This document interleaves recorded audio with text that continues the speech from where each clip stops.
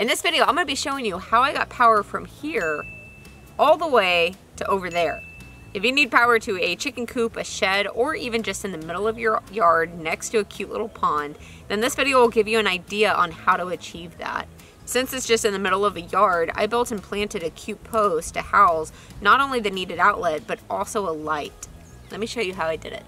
First, let me show you the area and the overall plan. There is power right inside the garage here, and I'll mount an outlet here, then trench and run a wire underground along the sidewalk. Tunnel under it to the other side, that was fun. Trench the remaining way to where I need an outlet, then put a post in the ground at that location. Of course, every dig site will have its own obstacles, but at least let me show you how I got through mine in case it helps on yours. The first thing I did was mount an outdoor electrical box to the outside of the garage. This entails punching a hole through the house siding so the wiring can pass through and be terminated to the GFCI plug. Once I was done, I started trenching. If you have a big job, then consider renting a piece of equipment for the day. This wasn't that big of a job, so I grabbed a combination of tools and got after it. One I found particularly useful was this smallest shovel. I'm actually not sure what it's called or its intended purpose, but I don't need a very wide trench, so its narrow profile was perfect. I plan on doing a direct bury, meaning I'm going to be placing bare cable in the trench instead of running it through conduit. According to code, if the circuit is protected by a GFCI, then a trench can be 12 inches deep. Be sure to check your codes before tackling this job. To get the remaining depth needed after my little shovel pass, I came through with mattock. This is the most time consuming part of the job, so grab some cold water and maybe a friend or two. After getting the trench all the way done, I next focused on tunneling under the sidewalk. So the trick for going underneath the sidewalk is to pretty much make a tunnel. And I'm gonna do that with a uh, four foot piece of metal conduit. On this end, I have a cap taped into place so that to prevent dirt from getting into the tube. And on this end, I just have something protecting the threads. Torpedo level to keep it nice and level, and then a sledgehammer to see if we can persuade it through. The trick is to use a pipe to create a tunnel. Tell me that isn't a neat trick. After showing this on Instagram, people suggested hooking up a hose to it in order to remove dirt with the water. It sounds messier to me, but keep it in your bag of tricks as an option if hitting it is not working for you. With that knocked out, the last bit of manual labor was to dig a post hole because in my case, I don't have a building to place the needed outlet. So instead, I'll be inserting a post. And just a tip for you, when digging, keep a sawzall on standby to cut roots out of the way. Okay, now let's run some wire. Back at the starting point, I first ran a piece of conduit down from the box to the trench, then wired in a GFCI. According to code, the circuit has to be GFCI protected if it's buried at 12 inches. And if you're ever wiring one in, be aware they aren't like normal outlets where the wire's origin doesn't matter. On the back of these, you're gonna have a line and a load placement. Line is the power coming in directly from like wherever the power source is, which is the breaker. The UF wire that is gonna be going out to the lamp post is gonna go under load. Just make sure you pay attention to that or your GFCI won't work. It is worth mentioning that direct bury wire is different than Romex that you run through conduit. The stuff is labeled UFB. And something about it is instead of stripping it like normal Romex, you have to pull it apart. Grab the two wires inside with two sets of pliers, then pull the wiring away, which will tear it out of the casing. By the way, I recommend these two-in-one pliers made by Crescent.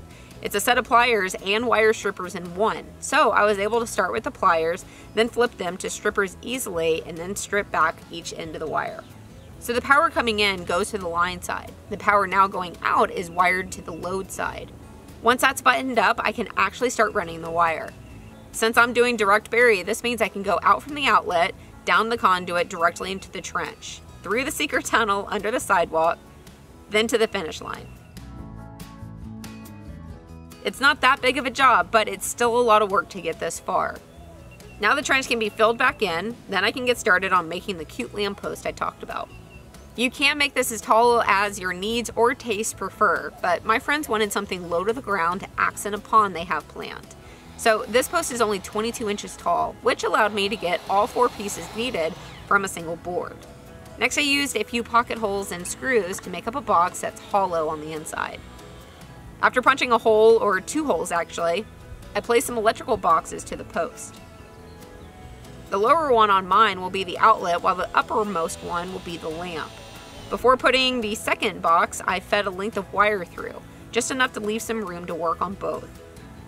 On the lamp side, I stripped back the wires of my UFB, then wired in the lamp, connecting black to black, white to white, and green to green. The light fixture also comes with a mounting bracket for attaching it.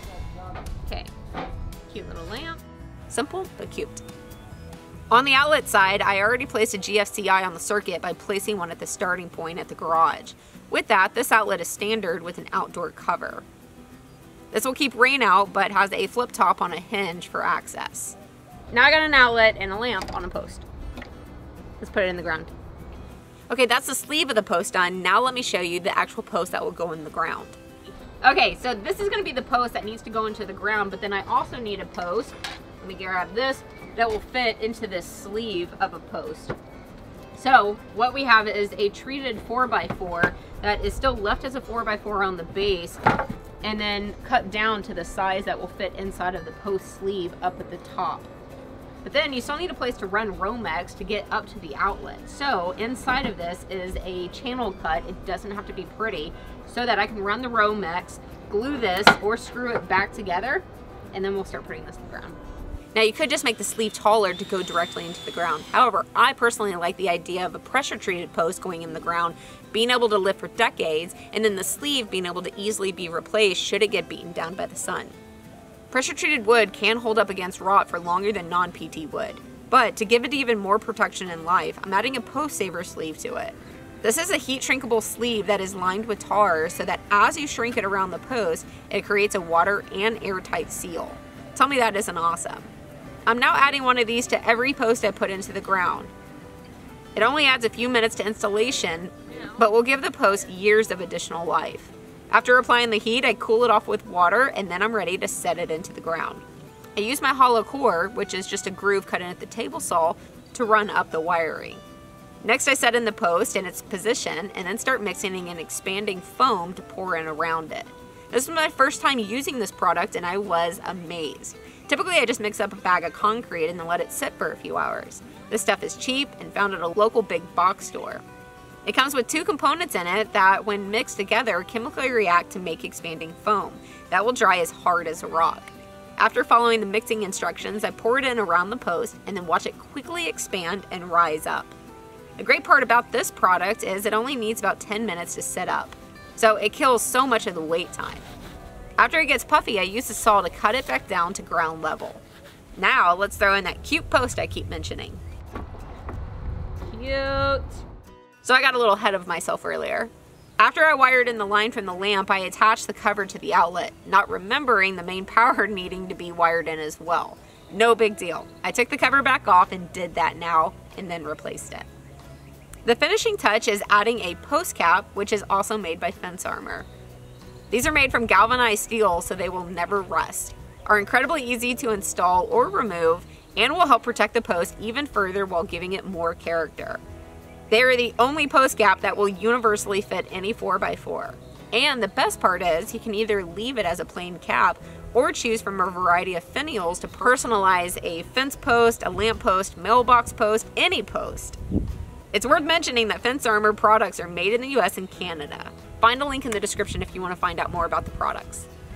Okay, and that is how I got power from an outlet way over there to way over there. My friends want the lamppost to accent a little pond they plan to install next. I think the post is adorable by itself, but once it's next to a pond, I think it will really come together even more.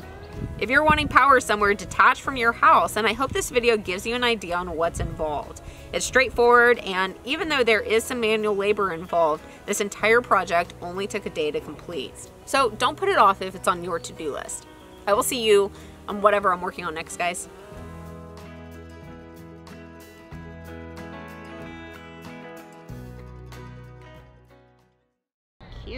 Cute little lamp. Simple, but cute. And that cute post I keep mentioning. Cute. Thank you so much for checking out this video. Be sure to also check out my website because I sell lots of useful things, such as these fraction and decimal charts.